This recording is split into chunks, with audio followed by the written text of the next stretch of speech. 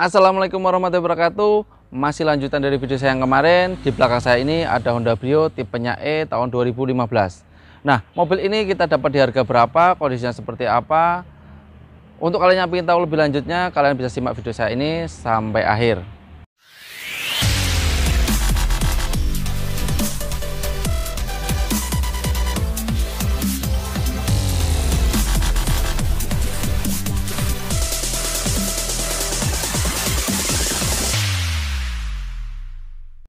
Brio ini adalah Brio generasi pertama ya dari keluarga Brio ya karena dari keluarga Brio generasi pertama ini ada faceliftnya setelah 2015 ini kan 2015 ya grillnya apa ini bumper bawah sudah beda senyumnya kayak all new Brio. Setelah itu 2018 sudah jadi berupa yang sekarang itu all new Brio ya. Jadi ini generasi pertama murni ya. Jadi ini belum facelift. Nah Mobil ini kita dapat di harga 80 juta 500 ya 80 juta 500 kalian bisa cek harga pasaran di luar seperti apa dan ini varian E ya tipe E. Tipe E itu tipe yang paling banyak beredar di pasaran dan paling banyak dikonsumsi masyarakat ya. Kenapa? Karena harganya ya medium ya. Karena kalau yang varian RS yang di atasnya kan harganya lebih mahal ya. Kalau yang tipe di bawahnya tipe S ya pasti downgrade toh untuk velg masih pakai kaleng gitu kan. Terus ada lagi sebenarnya yang varian lebih murah lagi itu tipe A ya. Tipe A cuman tipe A jarang banyak di, di pasaran. Kayaknya ini aja Power Window masih ondal tipe A. Ini tipe E ya. Tipe standar lah ya. Paling banyak peredarannya itu tipe E ya. Paling terjangkau juga harganya. Dan ini yang manual ya. Yang manual. Dan ini mesinnya kalau Brio kayaknya sama ya. Dari tahun 2011 sampai sampai ini ya sama. Cuman ada yang tiga silinder ada yang empat silinder pernah itu. Cuman tetap rata-rata sama empat silinder. Mesin legendarisnya Honda itu kan L15A lah ini L12A nya ya. Karena ini 1200 ya kan? Bukan 1500 tapi sama bandelnya sama kayak punya yang dipakai untuk Jazz, City dan lain sebagainya itu kan. Brio apa Mobilio dan lainnya. Di harga 80 juta 500 kita dapat Honda Brio tipe E ini seperti apa kondisinya, masih layak apa enggak. Kalau menurut saya ya, ini setelah saya pakai beberapa hari untuk mesin nggak ada masalah, untuk berjalan jauh nggak ada masalah, mau jalan macet, jalan naik turun, mau apa nggak masalah mesin. Untuk AC pun masih dingin, ya. Lah, yang jelas untuk apa ini? Karena mobil udah berumur ya rata-rata pasti untuk bumper depan belakang sudah sepetan ya. Jadi karena mobil sudah berumur seperti itu itu masih wajar. Jadi minus di mobil ini hanya minus-minus pemakaian. Cuman kalau kita hitung-hitung untuk PR itu kemarin kita cuman ganti untuk mesin ya untuk mesin itu ganti oli sama filter oli ya 500 ribuan lah ya. Karena kita ngambil yang 5W 3 per 30 dan itu yang full sintetik ya. Nah, kalau cari oli yang murah ya banyak juga ya. Tapi kan kita kan sesuai spek dan cari yang bagus gitu kan. PR-nya itu 500 ribuan ya untuk oli yang mesin. Untuk AC kita nggak ada PR. Semuanya kayak masih filter AC pun masih bagus. Terus untuk body kita nggak ada PR juga karena rencana sih mau tak salon ini ya. Cuman nanti kan biaya salon. Biasanya salon itu mungkin untuk interior, eksterior, mesin itu biasanya sekitar ya 600 ribuan 700 ribuan tergantung ke apa nanti ya apa ya kondisi ya tergantung kondisinya kotornya. Cuman ini kayaknya belum belum begitu perlu lah ya. Tergantung ini aja nanti pemesan. Oh iya ini kan mobil pesanan ya ini pesanan dari saudara kita yang ada di Kalimantan Balikpapan ya kan? Jadi nanti tergantung si pemesan. Ya kalau dia nyuruh saya nyuruh salonin silahkan tak salonin. Kalau kalau enggak kayak gini apa adanya pun enggak masalah ya kan? Yang jelas enggak ada apa enggak ada penyok dan enggak ada barat yang besar ya. Masih masih masih umum aja ya. Paling ya itu aja apa di di belakang roda itu nanti kayak emak perlu digarap itu di apa di roda belakang itu depan itu di depannya itu agak cowel itu ya. Itu bekas dempulan juga. Yang bawah ini ya juga bekas dempulan atau sepetan yang bodi-bodi bawah. Wajar lah mobil kayak gini mobil kecil gini. Intinya untuk eksterior seperti ini kondisinya kalian bisa lihat sendiri ya. Nah, mungkin di kamera nggak begitu kelihatan tapi insya Allah nggak ada barat yang besar ya. Cuman kondisi ya masih umumnya kayak gini lah masih ori.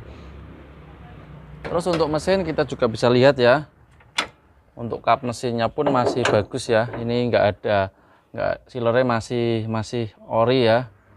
Insya Allah nggak bekas tabrak ya. Dan nggak bekas banjir untuk nanti di dalam biasa ciri-ciri banjir. Ini untuk sasisnya masih bagus untuk apron masih bagus. Ini apa tulang-tulangnya juga masih bagus. Oh ya ada lagi PR-nya ini kemarin ini kemarin kaki-kakinya ya karena mobil tua kan biasa ya kaki-kakinya ya. Kaki-kakinya udah mulai bunyi. Kemarin kita beresin di bengkel kaki-kaki itu habisnya 250.000 ya. Seperti itu. Itu kan juga PR toh. Dihitung sendiri PR-nya itu nanti. Terus untuk ini masih ya gini ya. Cuman kotor aja sih cuman kotor aja. Yang penting masih oh ini tutup. Ini tutupnya hilang. Tutup apa tutup apa ini air wiper ini air wiper. Masih aki. Masih bagus lampunya. Masih biru hijau enggak enggak apa enggak merah enggak kuning ya. Terus ya gini ya pokoknya mesin masih sehat ya. Untuk interior kondisinya seperti ini ya. Kita coba nyalain dulu aja biar enggak ah nah itu indikator. Oh nggak kelihatan ya? Tak tutup pintunya. Nah matiin lagi biar kelihatan indikatornya. Nah indikator itu ya steering cek engine oli aki airbag ya. Semua bisa lihat. Kita starter. Nah cek engine mati oli mati sudah mati cuma ya. Itu hanya seat belt sama handrem ya jadi aman ya mobil ini kita nyalain AC AC masih seperti ini ya kayak kompor gas nah, ya, kalau yang penting dingin. Yang penting dingin nggak masalah. Ini paling apa ini? Ah fog lamp. Ya seperti ini ya dashboardnya masih futuristik banget ya masih jadul nah kayak gini kondisinya ya kotor-kotor dikit gini dan ini kotor nih belang kotor gini ya ini perlu disalonin sebenarnya atapnya juga tuh. Tuh ya. Hmm. belakangnya juga tuh kotor. Ya karena cok kayak gini emang rawan kotor. Biasanya kan rata-rata disarungin tuh kalau ini ya tipe E kayak gini ya keras. Nggak ada ininya. Ini yang jelas masih fungsi semua nih masih fungsi. Tapi ke atasnya nggak auto up ini. Terus ini masih fungsi semua lah untuk spion juga masih fungsi itu di tracknya eh, bukan di track apa? Elektrik nah ya. Kondisinya kilometernya 69.000 untuk mobil tahun 2015 ya. Berarti perkiraan ya per tahun dia pakainya 12 ribuan kilometer. Lah 12 ribuan kilometer kalau ganti oli paling dua kali ya dua kali dua kali setengah lah. Itu kan masih wajar ya. Jadi bukan yang mobilitas tinggi. Untuk bawah karpet-karpet oh kita lihat. Karpetnya masih ada bawaan ya dari bio ya cuman sudah kusam gini ya. Nah terus kita lihat jok ini paling kan paling cepet tipis toh ya yang di sini ya seperti ini. Nah, nah, menurut saya masih masih masih inilah masih wajar lah. Kayak setir-setir kayak gini kusam-kusam gini wajar lah. Ya karena ini di anu terus terus ini juga bahannya kan agak empuk yang sini ya. Sebenarnya bio itu enak ini loh. Apa? Pantu drive loh lumayan loh. Ini apa? Airbag ya. Airbagnya juga masih di situ. Nah double airbag sudah ya varian E ini. Terus untuk yang belakang ya. Jok belakangnya langsung di sini seperti ini ya.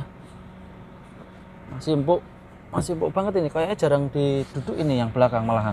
Tuh tuh. Terus untuk wah bukanya ini itu loh. Nggak enaknya bio itu kayak gini. Nih bukanya eh pakai ini dulu belakang. Nah ini full kaca jangan keras-keras ini nutupnya. Nutupnya tinggal dipas saja ini kalau gini ini cuma satu ya. Brio karena ringan itunya. Terus untuk ban serep. Ban serep masih ban serep masih itu ada punya Brio ini ban lepas itu. Apa? Terus ini dongkraknya di sini ya ngumpet di situ. Sama apa ya? Lagi ya? PR nya oh iya lampu rem mati satu itu. Paling nanti ganti bolapnya aja bolamnya aja udah itu PR nya. Oh iya ini talang air. Talang air nggak ada satu. Talang air nggak ada satu nih di sini ya. Lucu toh. Ini nanti di stiker hitam aja bagus ini sebagai ini talang airnya kasih satu. Ya nggak ada. Itu yang sana kan ada tuh. Nah ya untuk ban iya untuk ban ya belum ngomong ya. Ban masih masih wajar lah ya. Masih wajar tapi yo nggak bagus ya nggak baru.